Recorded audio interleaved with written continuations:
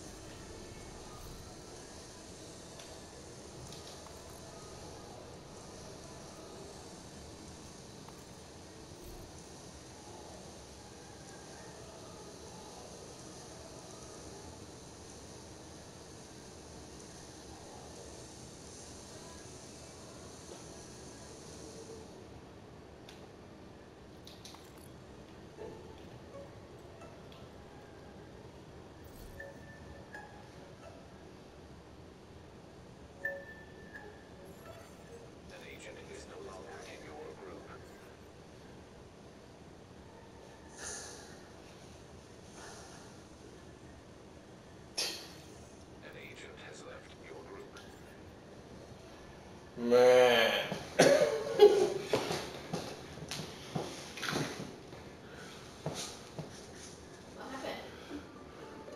This is the most I've ever.